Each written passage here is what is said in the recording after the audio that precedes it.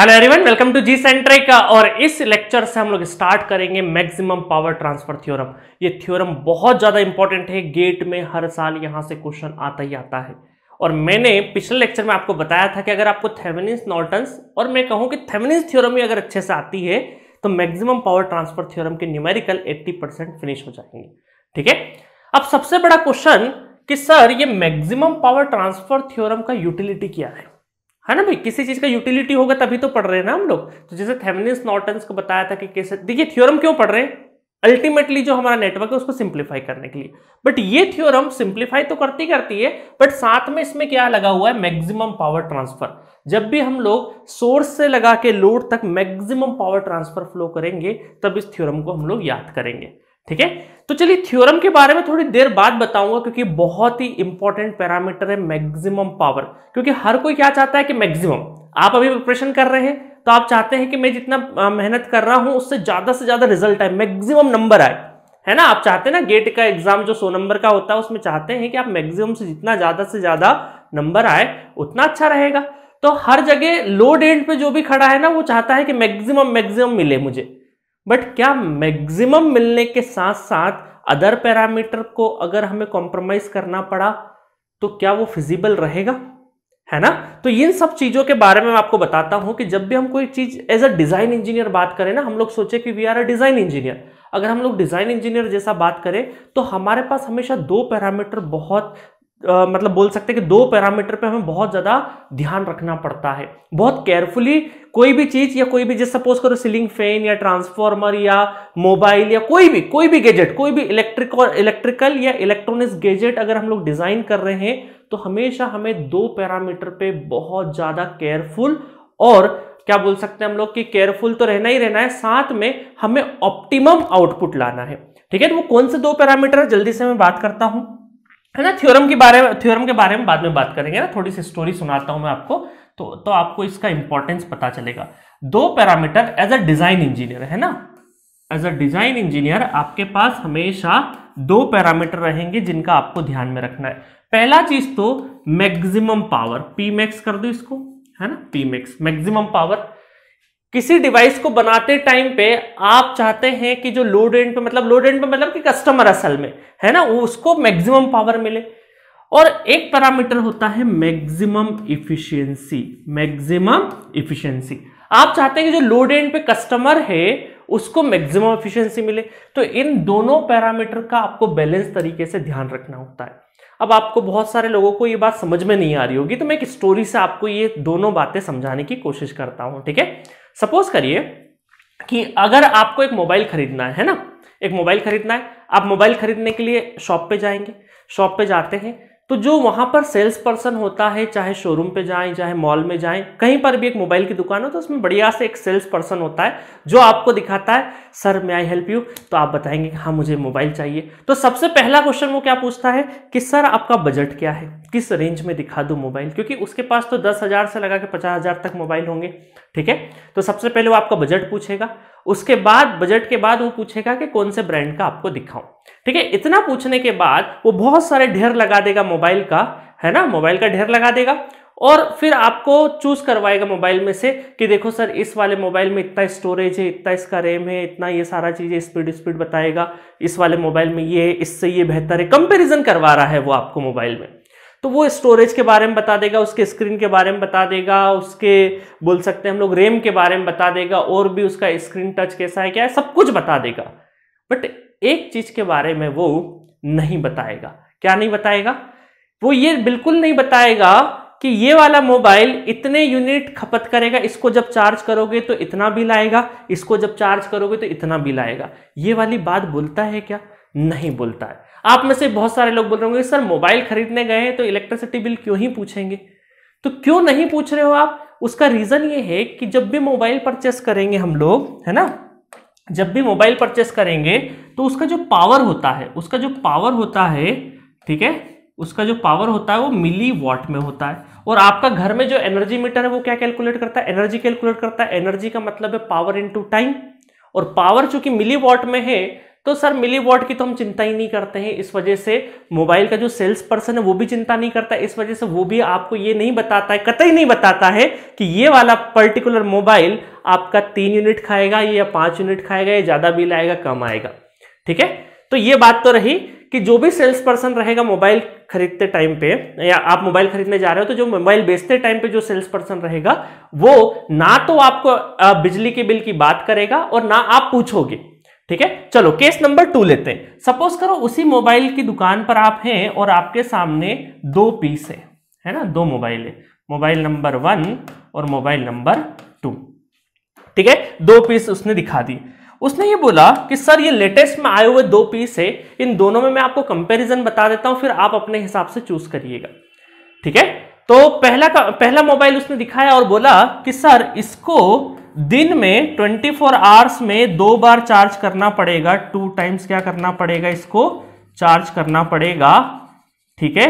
But इसमें गाने, बाकी इसके जितने भी फीचर है, बहुत आउटस्टैंडिंग है, बहुत अच्छे से गाना सुनाई देगा, सब कुछ अच्छे से चलेगा हैंग नहीं करेगा बिल्कुल भी। बस शर्त ये है कि सर 24 घंटे में दो बार आपको चार्ज करना पड़ेगा। और कभी कभी हो सकता है कि, चलो दो बार ही रखते हैं ना ज़्यादा नहीं रखते। और मोबाइल नंबर टू है, इसमें सर इसको जो चार्ज करना है ना, ये थ्री डेज़ में आपको चार्ज करना है। थ्री डेज़ में वन टाइम वन टाइम इसको चार्ज करना पड़ेगा। One time charge three days में। बट ठीक है? आप खुश हो गए कि यार तीन दिन चलेगा, ये कोई दिक्कत नहीं है। तीन दिन में एक बार चार्ज करना है। बट सेल्स पर्सन बोलता है कि, सर, इसके साथ में आपको जो गाने सुनाई देंगे ना, उसमें थोड़ा सा हिसिंग साउंड रहेगा। है ना? साउंड प्रॉब्लम थोड़ा सा हम बोल सकते हैं कि ऑडियो प्रॉब्लम बोल सकते हैं। Not sound problem audio problem audio problem रहेगा थोड़ा सा। तो आप कौन सा मोबाइल परचेस करना चाहेंगे? कीमत बहुत ज़्यादा डिफरेंस नहीं है, लगभग लगभग सिमिलर प्राइस है। ठीक है? बस डिफरेंस क्या आ रहा है? चार्जिंग का। तो आपको एक सेकेंड से भी कम समय लगेगा डिसाइड करने में कि कौन सा मोबाइल खरीदना है। पुराने टाइम के जो आईफोन हुआ करते थे, अब तो शायद मेरे ख्याल से बैटरी पे काफ़ी अच्छा वर्क किया है एप्पल ने। बट पुराने जो आईफोन हुआ करते थे सेवन सिक्स सेवन एट वाले तो वहाँ पर, पता नहीं सिक्स सेवन एट हेवी के नहीं हाँ जो भी रहे हो, है ना, पुराने वर्जन के, जो भी आईफोन रहे हो तो उसमें चार्जिंग की बड़ी प्रॉब्लम होती थी। बट फिर भी आईफोन चलाना, कोई बात नहीं, चौबीस घंटे में दो बार चार्ज कर लेंगे बट फीचर का बहुत इंपॉर्टेंस है। गाने का quality sound quality audio quality बाकी सारे फीचर्स का इंपॉर्टेंस है। तो आपको दो मिनट भी नहीं लगेगा ये डिसाइड करने में कि सर मैं तो ये वाला परचेस करूँगा, ठीक है, दो बार चार्ज कर लेंगे। और क्यों आप इतना कॉन्फिडेंट है? क्योंकि चार्ज करने में पैसा नहीं लग रहा है, क्योंकि आपका जो पावर है पावर कंजप्शन है, वो मिली वॉट में है। ठीक है? मिली वॉट में है। इस वजह से आपको टेंशन नहीं है, कर लेंगे दो बार चार्ज इसका मतलब है कि आप चाहते हैं कि ज़्यादा से ज़्यादा हमें अच्छे फीचर मिले, ज़्यादा से ज़्यादा देखिए ऑडियो प्रॉब्लम मतलब आपको अच्छे से गाने सुनाई देने का मतलब क्या? इम्पिडेंस मैचिंग इम्पिडेंस मैचिंग हो रही है। मतलब आप अगर बात करें, जब आप एम्पलीफायर वगैरह सब पढ़ोगे तो इसका मतलब है कि मैक्सिमम पावर आपका आ रहा है, इस वजह से साउंड प्रॉब्लम नहीं होती है। मतलब impedance matching maximum power flow होना तो ये सारे के सारे फीचर्स है ऑडियो सिस्टम के, ठीक है? तो इसका मतलब है कि आप मैक्सिमम पावर फ्लो कराने के लिए रेडी है, कोई दिक्कत नहीं, क्योंकि आपका इलेक्ट्रिसिटी बिल ज़्यादा नहीं आएगा। ठीक है? इलेक्ट्रिसिटी बिल नहीं आएगा। तो मैक्सिमम पावर अब मैं आपको एक चीज़ बताता हूँ कि मैक्सिमम पावर मैक्सिमम पावर जब ड्रॉ करते हैं ना मैक्सिमम पावर जब ड्रॉ करते हैं सपोज़ करो आप मैक्सिमम पावर ड्रॉ कर रहे हैं, उस टाइम पे जो इफिशियंसी हो जाती है, वो 50 परसेंट रह जाती। है इफिशियंसी क्या हो जाती है उस टाइम पे? 50 परसेंट फिफ्टी परसेंट इफिशियंसी का मतलब है कि 50 परसेंट क्या हो गए? लॉसेस हो गए। लॉसेस हो गए 50 परसेंट तो आप बॉदर होंगे क्या इस लॉसेस के लिए? नहीं, क्योंकि सर मिली वॉट में पावर है तो लॉसेस हो जाने दीजिए, कितना ही लॉस हो जाएगा।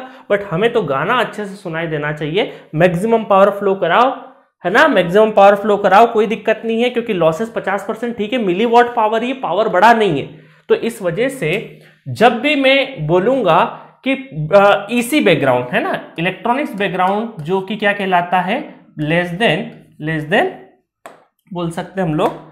Less than 25 volt less than 25 volt है ना? 25 वोल्ट से कम मतलब कि ईसी और इलेक्ट्रिकल क्या हो जाएगा? इलेक्ट्रिकल ब्रांच हो जाएगी आपकी greater than sorry electrical branch हो जाएगी आपकी more than 25 more than 25 25 volt से ऊपर आपका क्या हो जाएगा? ठीक है? अब इसमें अलग अलग बैटरियाँ होती है ना पाँच वोल्ट की भी होती है, दस वोल्ट की, पंद्रह वोल्ट की, बीस वोल्ट की, पच्चीस वोल्ट की अलग अलग बैटरियों अलग अलग वोल्टेज लेवल पे बात कर रहे हैं। तो इलेक्ट्रॉनिक्स में हमेशा क्या होता है 25 वोल्ट तक लिमिटेशन होता है 25 वोल्ट के बाद हम लोग इलेक्ट्रिकल में जम कर जाते हैं, ठीक है? चलिए तो यहाँ ये वाला एग्ज़ाम्पल समझ में आया।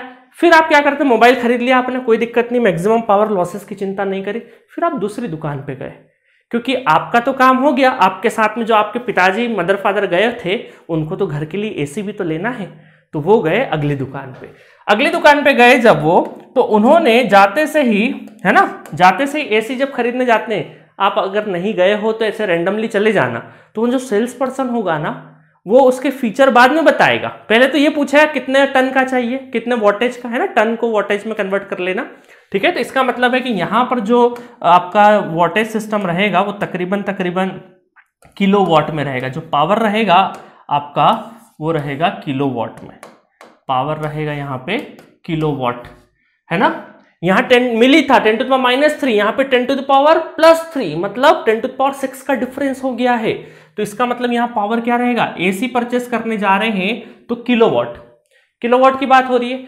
तो सबसे पहले जो सेल्स पर्सन होगा, वो इस बात पे ज़ोर डालेगा कि, सर इस वाले एसी का है थ्री स्टार रेटिंग इसका फोर स्टार रेटिंग ये फाइव स्टार रेटिंग ये स्टार रेटिंग का मतलब क्या है? जितने ज़्यादा स्टार बढ़ते जाते हैं, बिजली का बिल उतना कम आता है। एसी खरीदना कोई बड़ी बात नहीं है। एसी को मेंटेन करना बहुत बड़ी बात है, क्योंकि एसी का बिल बहुत ज़्यादा आता है। आज भी बहुत सारे लोग एसी खरीद तो लेते हैं बट चलाते उसको दो घंटे, तीन घंटे, पाँच घंटे ज़्यादा नहीं चलाते, क्योंकि इलेक्ट्रिसिटी बिल बहुत आता है। किलो पावर है ना? किलो पावर तो इसका मतलब है कि एसी की जब दुकान पे जा रहे हो तो उसको डिज़ाइन करते टाइम पे सबसे ज़्यादा फोकस किया किया गया है?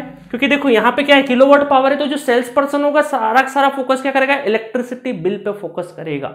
क्योंकि इलेक्ट्रिसिटी बिल का मतलब है इलेक्ट्रिसिटी बिल का मतलब है वो किस पे फोकस कर रहा है?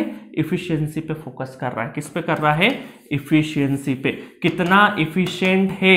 कितना इफिशियंट है? आपका एसी इस बात पे three star four star five star rating के ऊपर बात कर रहा है। क्यों? क्योंकि अगर वो यहाँ पर मैक्सिमम पावर की बात करेगा तो उस केस में क्या हो जाएगा? पचास परसेंट लॉस हो जाएगा मतलब किलोवाट। वन किलोवाट है तो आधा किलो किलोवाट तो पावर क्या हो गया? लॉस में चले गया।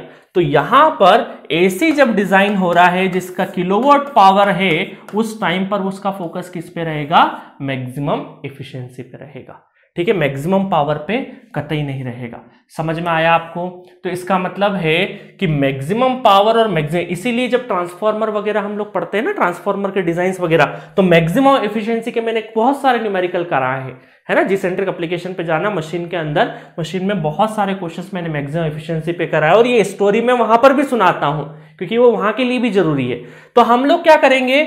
जब भी किलोवाट पावर या power rating higher power rating में जाएँगे तो हमारा जब डिज़ाइन मतलब अब तो थोड़ी देर के लिए मैं कंक्लूड करता हूँ कि मान लो एक इंजीनियर है जिसको दो चीज़ें डिज़ाइन करनी, एक मोबाइल डिज़ाइन करना और एक एसी डिज़ाइन करना है। तो जब मोबाइल डिज़ाइन करते टाइम पे उसका पूरा फोकस किस पे रहेगा? मैक्सिमम पावर पे रहेगा। ऑडियो सिस्टम वगैरह में पूरा मैक्सिमम पावर वगैरह सब यूज़ होता है। तो उसका पूरा फोकस क्या रहेगा? मैक्सिमम पावर पे रहेगा। उसे कोई मतलब नहीं लॉसेस हो रहे तो हो रहे, कोई दिक्कत नहीं। पावर का जो रेटिंग है वो बहुत ही कम है। बट जब एसी डिज़ाइन कर रहा है वही इंजीनियर उस टाइम पर उसका पूरा फोकस रहेगा कि कैसे इसको इफिशियंट बनाए एनर्जी इफिशियंट बनाए, इसका बिजली का बिल कैसे कम से कम आए। इस वजह से उसका फोकस किस पे रहेगा? मैक्सिमम पावर पे नहीं रहेगा। उसका रहेगा मैक्सिमम इफिशियंसी पे रहेगा। तो आप में से बहुत सारे लोगों का डाउट होगा, सर मैक्सिमम पावर पे जब फोकस नहीं रहेगा तो फिर ये कैसे चलेगा? क्योंकि कस्टमर को तो मैक्सिमम पावर भी चाहिए ना। तो मैं एक चीज़ बताता हूँ तो यहाँ पर जब डिज़ाइन अप, जो अपना प्रोडक्ट डिज़ाइन करेगा वो इस चीज़ का ध्यान रहेगा कि मैक्सिमम इफिशियंसी ड्रॉ करते टाइम पे पावर आउटपुट भी जो है वो बैलेंस तरीके से रहे। ऐसा नहीं कि पावर बहुत ही कम हो जाए। आउटपुट पावर तो कुछ ना कुछ तो रहना चाहिए ना। तो इसका मतलब है कि वो एक कॉम्प्रोमाइजिंग स्टेट लेगा जहाँ पे इफिशियंसी भी अच्छी हो और पावर भी अच्छा हो बट इफिशियंसी को ज़्यादा प्रायोरिटी देगा। बट यहाँ पर यहाँ पर क्या होगा? यहाँ पर वो मैक्सिमम पावर पावर को ही ज़्यादा प्रायोरिटी देगा। ठीक है? समझ में आया? तो आपके अलग अलग तो डिज़ाइन इंजीनियर के लिए बड़ा चैलेंज होता है कॉस्ट इफ़ेक्टिव बनाना चीज़ों को। कॉस्ट इफ़ेक्टिव के साथ साथ वो मार्केट में चले लो कस्टमर खुश भी हो तो भी ज़रूरी है। जैसे नैनो कार था, है ना? रतन टाटा जो नैनो कार लेके आए थे तो उसमें क्या हुआ कि सस्ती तो थी बट कस्टमर ने शुरुआत में तो बहुत ज़्यादा रुझान दिखाया बट ओवर द टाइम उस गाड़ी के प्रति रुझान कम हो गया, क्योंकि वो उस प्राइस सेगमेंट में बहुत अच्छी नहीं बनाई गाड़ी, है ना? अभी भी लोग सड़कों पे दिख जाती है, ऐसा इतना बुरा भी नहीं उस प्राइस सेगमेंट में बट ठीक है, फिर भी जो कस्टमर था उसकी इफ़ेक्ट जो एक्सपेक्टेशन थी वो ज़्यादा थी, इस वजह से प्रोडक्ट नहीं चला। तो इसका मतलब वो प्रोडक्ट आप कितना भी अच्छा बना दो बट वो अगर मार्केट के लिए मतलब मार्केट मतलब ही कस्टमर नॉर्मल पीपल के लिए कस्टमर्स के लिए अगर फिजिबल नहीं है तो फिर वो लंबे टाइम तक नहीं चल पाएगा। तो डिज़ाइन इंजीनियर के हाथ दिमाग में सिर्फ़ बेस्ट नहीं बनाना बेस्ट के साथ साथ उसको एक ऐसी कॉम्प्रोमाइजिंग स्टेट पे बनाना है, जहाँ पर कस्टमर भी ले। जैसे आज की तारीख में अगर मैं आपकी भाषा में बात करूँ तो रेडमी मोबाइल रेडमी मोबाइल बहुत ज़्यादा बिकता है। क्यों बिकता है? क्योंकि दस बारह हज़ार में वो उतने फीचर दे देता है जितनी ज़रूरत है।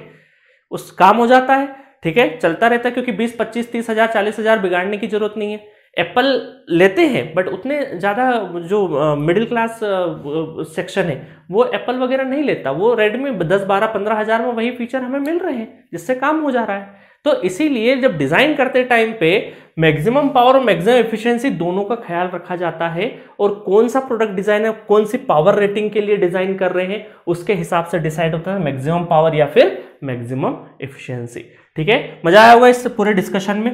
ठीक है? तो इसका मतलब है कि ये मैक्सिमम एफिशिएंसी की कौन बात करता है? इलेक्ट्रिकल स्टूडेंट और ईसी स्टूडेंट किसकी बात करते हैं? मैक्सिमम पावर की। इस वजह से इसकी जो application maximum power transfer theorem की जो एप्लीकेशन भी है, वो सबसे ज़्यादा कहाँ पे है? सबसे ज़्यादा ईसी में ही है। इसका मतलब है कि ऑडियो सिस्टम और ऑडियो सिस्टम एम्पलीफायर वगैरह सब पढ़ते हैं ना? इंपिडेंस मैचिंग वगैरह। ये सब इंपिडेंस मैचिंग एक कॉन्सेप्ट आप एनालॉग इलेक्ट्रॉनिक्स में भी पढ़ोगे। इंपिडेंस मैचिंग ठीक है? तो ये सब चीज़ों में यूज़ होगा। और ट्रांसफॉर्मर तो क्या है? एक जेब में रख लो ट्रांसफॉर्मर इतना बड़ा भी हो सकता है और एक आपके घर के बड़े, घर के बड़े साइज़ जितना भी ट्रांसफॉर्मर पॉसिबल है। तो यहाँ पे इंपिडेंस मैचिंग वगैरह में छोटे जो ट्रांसफॉर्मर होते हैं ना electronics transformer high frequency transformers तो वो यूज़ की जाते हैं। ठीक है? तो ये एप्लीकेशन है ऑडियो सिस्टम और इंपिडेंस मैचिंग मैंने दो एप्लीकेशन लिख दी, बहुत सारे ढेरों एप्लीकेशन इसी में मिल जाएँगे। चलो, अब स्टेटमेंट देख लेते हैं कि अब इसका क्या करेंगे हम लोग? पोस्टमार्टम करेंगे मतलब कि किस तरीके से कैलकुलेट किया जाता है मैक्सिमम पावर एसी और डीसी दोनों सर्किट में वो देखेंगे, ठीक है? तो ये रहा स्टेटमेंट इट इज़ अप्लीकेबल है ना? स्टेटमेंट वैसा नहीं है नॉर्मल सा स्टेटमेंट लिखा हम लोगों ने। It is applicable only when the load is variable ठीक है? कहाँ पे अप्लीकेबल है? जब लोड वेरिएबल होगा, तभी अप्लीकेबल है। दूसरा लिखा है if load is not variable अगर लोड वेरिएबल नहीं है then choose minimum internal impedance of the source which results maximum current flow through the fix load which gives ultimately maximum dissipation across the load ठीक है? अगर load variable नहीं है तो उस केस में हम क्या करेंगे? आपका जो सोर्स है सोर्स का जो रेजिस्टेंस या इंपिडेंस है, वो कम से कम रखें। ठीक है? वो अभी, ये वाली बातें अभी थोड़ी देर में सब कुछ समझ में आ जाएगी। अब देखिए, आगे के, आगे बढ़ने से पहले मैं आपको बता देता हूँ कि किस तरीके से हम लोग इस थ्योरम को चलाने वाले हैं। आपको ये थ्योरम मैंने दोनों दोनों सेक्शन में बताऊँगा। स्टैंडर्ड केस डिस्कस करा दूँगा। एक मॉडल केसेस जो होते ना, वो डिस्कस करा दूँगा। उसमें मैं यहाँ पर डीसी के दो केस ले लूँगा और एसी के चार केस ले लूँगा। ठीक है? डीसी और एसी दोनों में डिस्कस करेंगे। यहाँ पर मैं दो केसेस में केस नंबर वन और केस नंबर टू। दो केस डिस्कस कराऊँगा डीसी में और चार केस डिस्कस कराऊँगा case number one, two, three, four. चार केस डिस्कस कराऊँगा मैं एसी में। तो ये मॉडल क्वेश्चन हो जाएँगे सॉरी मॉडल हो जाएँगे कि किस तरीके से अलग अलग लोड देखिए, क्योंकि लोड आपका क्या है? वेरिएबल सपोज़ करो, ये हमारा सोर्स है और यहाँ पे कुछ भी होगा, यहाँ पे रेजिस्टेंस होगा। तो डीसी देखो डीसी में तो क्या होगा? दोनों जगह रेजिस्टेंस ही होगा तो कोई दिक्कत नहीं है। बट एसी में क्या हो सकता है? यहाँ पे रेजिस्टेंस भी हो सकता है, यहाँ पे R S plus J X S भी हो सकता है। इधर की साइड में ये आर एस है ना? इधर में एक बार लोड भी हो सकता है, उसके बाद R L plus J X S भी हो सकता है। तो इसमें अलग अलग वेरिएशन हो सकते हैं। कभी हो सकता है रेजिस्टेंस वेरी करे, कभी रिएक्टेंस वेरी करे, कभी पूरा इंपिडेंस ही वेरी करे, है ना? तो इसका मतलब है कि यहाँ पर अलग अलग केसेस बन सकते हैं। तो इस, इसी, ये जो अलग अलग वेरिएशन है ना, यही वेरिएशन एसी में चार केस बन जाएँगे और डीसी में दो केस बन जाएँगे। अभी मैं केस डिस्कस करूँगा तो ऑटोमेटिक सब कुछ समझ में आ जाएगा। तो आधे घंटे का थ्योरी और सुन लीजिए, उसके बाद सारी पिक्चर आपको क्लियर हो जाएगी। और ये वाली बात जो है, मैंने बताई है कि इफिशियंसी 50 परसेंट हो जाती है, इसको भी आगे जाके मैं प्रूफ कराऊँगा कि जब आप मैक्सिमम पावर ड्रॉ करते हो तो इफिशियंसी से हमें सेक्रीफाइस करना पड़ेगा। ठीक है? चलिए स्टार्ट करते हैं। वन बाय वन पहले डीसी के केस डिस्कस करेंगे, उसके बाद एसी के केस डिस्कस करेंगे। तो चलिए। तो चलिए देखते हैं। डीसी में देखेंगे ना? सबसे पहले डीसी में केस नंबर फ़र्स्ट है कि लोड इज़ वेरिएबल मतलब यहाँ पर एक वोल्टेज सोर्स है, उसका इंटरनल रेजिस्टेंस गिवन है आर एस एस मतलब कि सोर्स का रेजिस्टेंस है, ठीक है? और ये हमारा लोड लगा हुआ असल में यहाँ से आप बोल सकते हैं कि that is our load resistance अब आपको क्या करना है? यहाँ पर देखेंगे कि ये आरएल की कौन सी वैल्यू होना चाहिए जिसपे आपका मैक्सिमम पावर फ्लो होगा। ठीक है? तो चलिए फटाफट इसका डेरिवेशन कर देते हैं। छोटा सा डेरिवेशन है।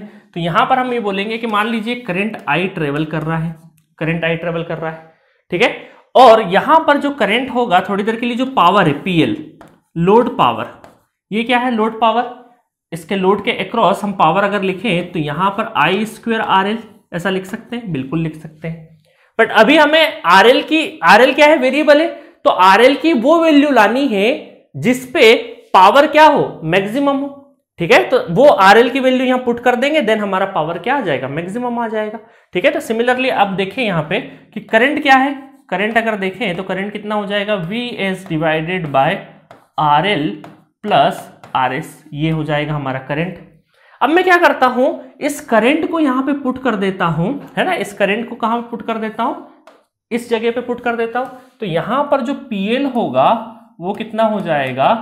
V S square V S square divided by R S plus R L का whole square into R L अब हमें क्या चाहिए? मैक्सिमम पावर चाहिए। सारी चीज़ें क्यों कर रहे हैं हम लोग? मैक्सिमम पावर के लिए। तो हम चाहते हैं मैक्सिमम पावर और आपको पता है कि वेरिएबल क्या है यहाँ पे? लोड रेजिस्टेंस वेरिएबल है। तो यहाँ पर आपने मैथमेटिक्स में मैक्सिमम मिनिमम पढ़ा होगा। तो अगर हमें मैक्सिमम चाहिए वैल्यू तो पहले देखेंगे ये जो भी पीएल है, जो भी फ़ंक्शन है तो यहाँ पे अभी फ़ंक्शन कौन सा है?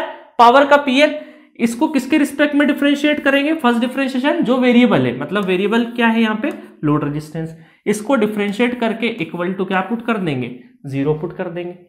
इसको ज़ीरो पुट कर देंगे तो यहाँ से हमें आरएल की वैल्यू मिल जाएगी, जिसके ऊपर मैक्सिमम पावर आ रहा है। ठीक है? चलो, फटाफट डिफरेंशिएशन कर दे तो ये हमारा क्या है? डिवीज़न रूल है। डिवीज़न रूल में क्या होता है? इसको मैं छोटा कर देता हूँ थोड़ा सा।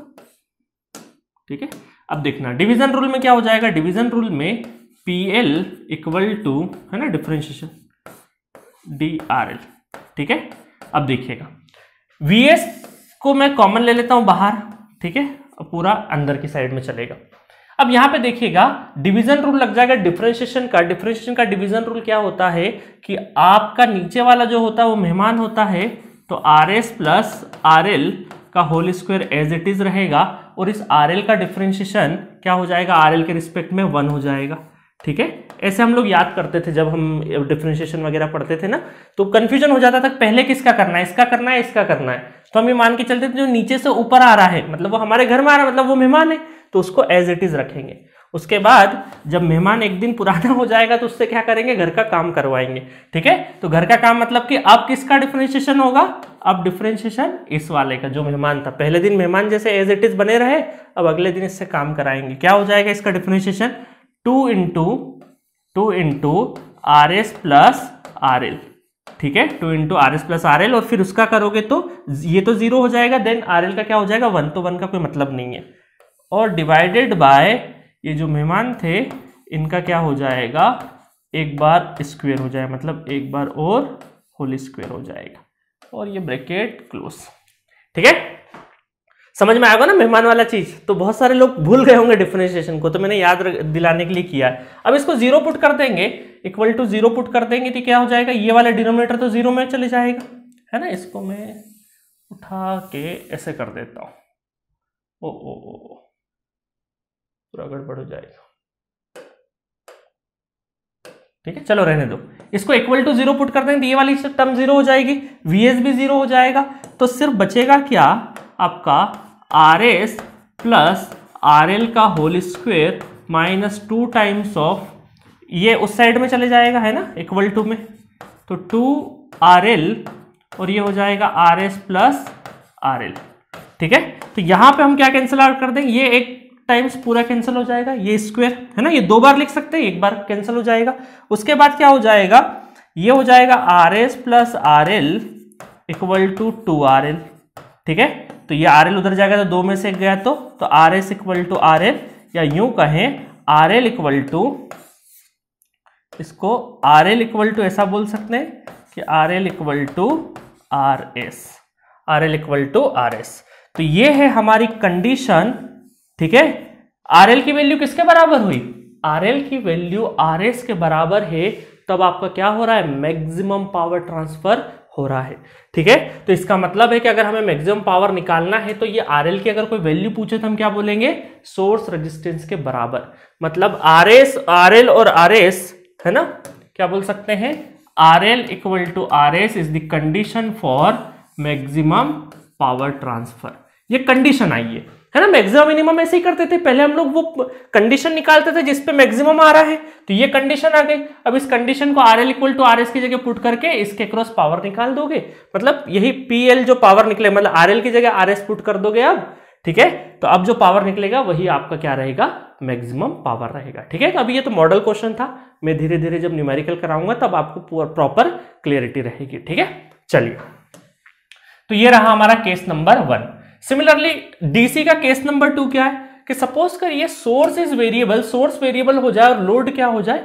फिक्स हो जाए। तो उस टाइम पर हम क्या करेंगे? हाँ उस टाइम पे हम क्या करेंगे कि आर एस को मिनिमम से मिनिमम चूज़ करना है। तो हम क्या करेंगे? Choose choose minimum as minimum as possible as minimum as minimum as possible as minimum as possible ठीक है? जितना मिनिमम हो सकता है उसको उसको मिनिमम चूज़ करेंगे ताकि ज़्यादा से ज़्यादा करंट ट्रेवल करे और ज़्यादा से ज़्यादा पावर रहे। ठीक है? ध्यान रखना, जब सोर्स आपका वेरिएबल हो तो ये आपको क्या करना है? मिनिमम चूज़ करना है। ठीक है? और थ्योरिटिकली क्या बोल सकते हैं इसकी वैल्यू थ्योरिटिकली मतलब कि यहाँ से कुछ भी नहीं रहे, इसका मतलब ज़ीरो ओम क्या है हमारा? थ्योरिटिकली तो इसका मतलब है कि थ्योरिटिकली अगर देखें, क्योंकि प्रैक्टिकली ज़ीरो तो हो नहीं सकता, क्योंकि कुछ ना कुछ वोल्टेज का प्रैक्टिकल सोर्स का इंटरनल रेजिस्टेंस तो रहेगा रहेगा। तो थियोरिटिकली हम ये बोल सकते हैं कि थियोरिटिकली ठीक है, ये आंसर क्या दिया है मैंने? थियोरिटिकली हम R S equal to zero बोल सकते हैं for maximum for maximum power ठीक है फॉर पी मैक्स समझ में आया? तो ये डीसी के दो केसेस थे, दोनों केस को मैंने डिस्कस करा दिया है।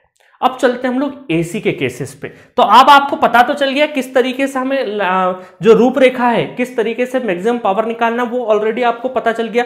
करंट निकालेंगे करंट को फिर उसमें पुट करेंगे फ़र्स्ट डिफ्रेंशिएशन करेंगे और वहाँ से कंडीशन ड्रॉ होगी। तो हम लोग कंडीशन ही देखें, क्योंकि एक बार कंडीशन आ गई उसके बाद मैक्सिमम पावर निकालना बड़ा आसान है। ठीक है? तो हम लोग किस पे फोकस करेंगे? कंडीशन पे फोकस करेंगे। ठीक है? चलिए तो अब हमारा कंडीशन देखते हैं एसी में पहला केस यहाँ पर आपको दे रखा है, ये है हमारा सोर्स वोल्टेज ये हमारा source impedance R S plus j XS plus लिया है मतलब इंडक्टिव नेचर है इसका, ठीक है? और यहाँ पर क्या है लोड इज़ वेरिएबल ये लो जो लोड रेजिस्टेंस लगा हुआ है, ये आपका क्या है वेरिएबल है। तो चलो आप मैक्सिमम पावर कैसे निकालते हैं वो देखें। तो यहाँ पर सबसे पहले हम क्या करेंगे कि जो पावर है पावर लिख देते तो पावर क्या हो जाएगा P L equal to I square ये करेंट है I I square into R L, है ना? इसमें जाने वाला। अब इस आर एल की वैल्यू लिया मैक्सिमम पावर के लिए और यहाँ पुट कर दोगे तो पावर मैक्सिमम मिल जाएगा। तो हम दो देखते हैं कि यहाँ पर क्या होगा, करंट क्या हो जाएगा? करंट हो जाएगा आपका वी एस डिवाइडेड बाय है ना? ये पूरा तो हम ये बोल सकते हैं कि R S plus R L plus j XS. ठीक है? रियल रियल को मैंने एक साइड में कर दिया। रियल पार्ट को और इमेजनरी पार्ट को अलग अलग कर दिया। ठीक है? अब यहाँ पे पुट कर देते हैं। तो इसका मैग्नीट्यूड इसका मैग्नीट्यूड क्योंकि मैग्नीट्यूड से ही काम है हमें। तो इसका मैग्नीट्यूड देखें तो वी एस डिवाइडेड बाय यहाँ पर क्या हो जाएगा मैग्नीट्यूड? इसका R S plus R L का होल स्क्वेयर प्लस एक्सेस का होल स्क्वेयर अब इसको यहाँ पे हम लोग पुट कर देते हैं। इसको जब यहाँ पुट कर देंगे तो कितना हो जाएगा? P L equal to P L equal to V S का होल स्क्वेयर डिवाइडेड बाय ये अंडर रूट का स्क्वेयर होगा तो अंडर रूट हट जाएगा। तो यहाँ पे R S plus R L का होल स्क्वेयर प्लस एक्सेस का whole square into R L फिर क्या करेंगे आप? फिर हमें फ़र्स्ट डिफ्रेंशिएशन करना है with respect to R L equal to क्या हो जाएगा? ज़ीरो हो जाएगा, ठीक है? इक्वल टू ज़ीरो तो अब आप कर लेंगे। नहीं तो चाहो तो मैं एक पहला करके दिखा देता हूँ। बार बार अब डिफ्रेंशिएशन नहीं करूँगा, है ना? एक बार और करके दिखा देता हूँ आपको। क्योंकि बहुत सारे स्टूडेंट यहाँ पे कन्फ्यूज़न हो जाता है डिफ्रेंशिएशन में। है ना? डिफ्रेंशिएशन क्या करेंगे? D P L by D R L क्या करना है हमें? वी एस को तो बाहर रख दो कंप्लीटली उसके बाद ये पूरे के पूरे मेहमान हैं, इनको एज इट इज़ है ना? आर एल का डिफ्रेंशिएशन कर दो तो ये वन हो जाएगा। और मेहमान को एज इट इज़ बिठा दो। R S plus R L का whole square plus XS then minus अगले दिन क्या करना मेहमान के साथ में बर्तन साफ़ करवाने हैं, ठीक है? तो यहाँ पे आर एल को एज इट इज़ रखो। अब इसका डिफ्रेंशिएशन करो। देखो, इसका तो क्या हो जाएगा? ज़ीरो हो जाएगा। क्योंकि ये तो क्या है? कांस्टेंट है। आर एल के रिस्पेक्ट में ये तो क्या है? कांस्टेंट है। इसका डिफ्रेंशिएशन होगा। तो इसका हो जाएगा two into R S plus R L ठीक है? और फिर आर एल का करोगे तो वो तो वन हो जाएगा, ठीक है? तो ये हो जाएगा हमारा डिवाइडेड बाय डिवाइडेड बाय इस पूरे मेहमान का स्क्वेयरिंग मतलब R S plus R L का होल स्क्वेयर प्लस एक्सेस और इसका होल स्क्वायर ठीक है? ये हो गया डिफ्रेंशिएशन अब डिफर इसको ज़ीरो कर देंगे, इसको ज़ीरो कर देंगे, ये वाली टर्म तो क्या हो जाएगी? ज़ीरो हो जाएगी. ये वी एस स्क्वायर भी क्या हो जाएगा? ज़ीरो हो जाएगा. तो ये दोनों टर्म बचेगी. इन दोनों टर्म्स को अगर मैं लिखूं, इसको और इसको तो यहाँ पर खोल देता हूँ इसको तो ये कितना हो जाएगा?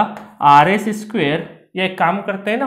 हाँ नहीं, कटेगा नहीं। R S square plus R L square plus two R S R L है ना? A square plus B square plus two A B है ना? मोदी जी वाला टू ए बी नहीं रियल फॉर्मूला याद रखना, ठीक है? और प्लस एक्सेस का whole square equal to equal to उस साइड जाएगा? तो two R L R S plus two R L not plus minus आएगा। नहीं अच्छा माइनस नहीं आएगा ना? उस साइड में चले गया तो ऑलरेडी प्लस का है। तो ये हो जाएगा प्लस टू आर एल का होल स्क्वायर। ठीक है? अब क्या कैंसिल आउट हो रहा है? यहाँ से कैंसिल होने वाली चीज़ें हैं two R L R S cancel हो गया। ठीक है?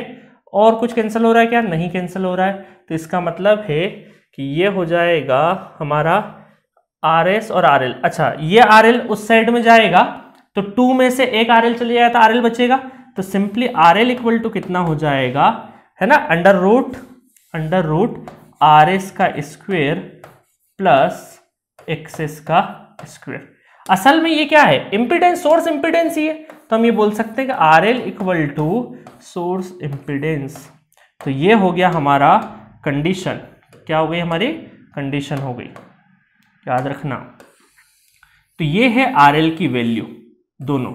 एक ही बात है इसको मैं इंपिडेंस के फॉर्म में भी लिख सकता हूँ। इसका मतलब है कि जब भी कभी इस तरह का केसेस आएगा और आर एल वेरिएबल रहा तो इस आर एल का मैक्सिमम पावर फ्लो होने के लिए आर एल की वैल्यू कितनी हो जाएगी?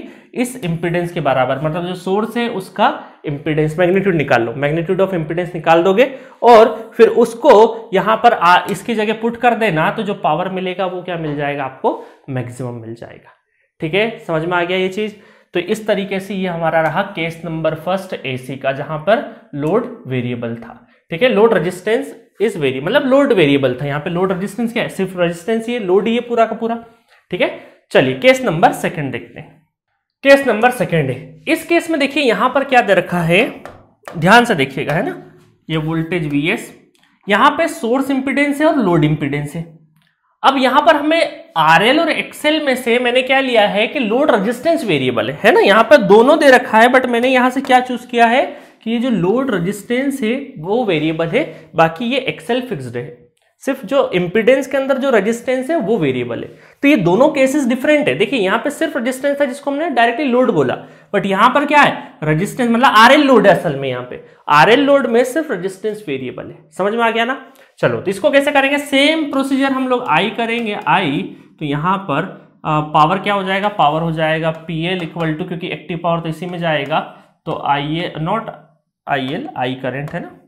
आई करेंट का square into resistance R L ठीक है? अब इस आर एल की वैल्यू लेके आ जाएँगे तो मैग्नीट्यूड ऑफ़ करंट कितना हो जाएगा? करंट आ जाएगा वी एस डिवाइडेड बाय अब देखिए यहाँ पर क्या है?